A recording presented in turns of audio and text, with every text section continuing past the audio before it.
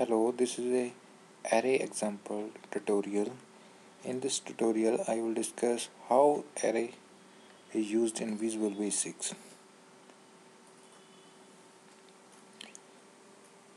Here we use the array and for loop to display the array element. First we define the element counterpart to display the element of the array so we define the dim i as a counter as an integer.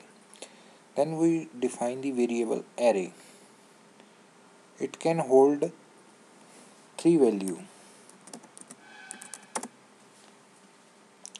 And this is a one dimensional array. So one dimensional means it can hold the list of the elements. We can define where array is a variable array name of the variable. Is 2 it can hold the three values 0 1 and 2 like this one. Array 0 is 15 and 7 8 because it is an integer type we assigning the integer value. If it is a variable string type as a string then we can define the strings various string to the variable.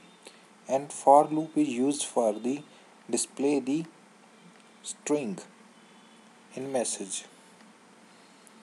So it is a predefined array element. You can enter from input box or input type control to variable array values. So let's start how it works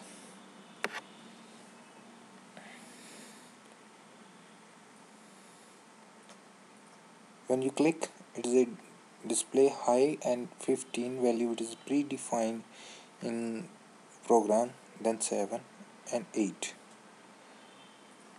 now string array is now displaying using for loop. John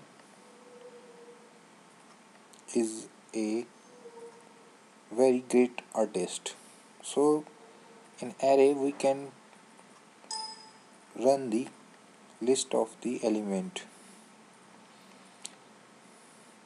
So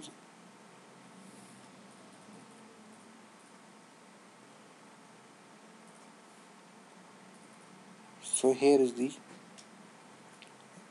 syntax of the array. In next tutorial I will discuss how variable element is entered or how to add the two matrix using the array and for loops um, and two-dimensional arrays and one-dimensional arrays uh, and three-dimensional arrays. There are different n-dimensional you can define arrays which can add the n dimensional matrix two dimensional three dimensional four dimensional any dimensional you can add the matrix. And you can